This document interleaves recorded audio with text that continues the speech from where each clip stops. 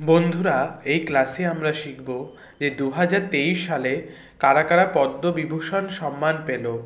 শ্রী বালকৃষ্ণ দোষী, মরণোত্তর, আর্কিটেকচারে পুরস্কার পেয়েছেন গুজরাট থেকে।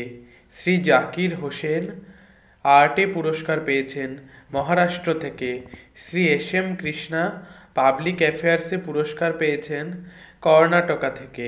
শ্রী দিলীপ মহলানবিশ মরণোত্তর পুরস্কার পেয়েছেন মেডিসিনে ওয়েস্ট বেঙ্গল থেকে।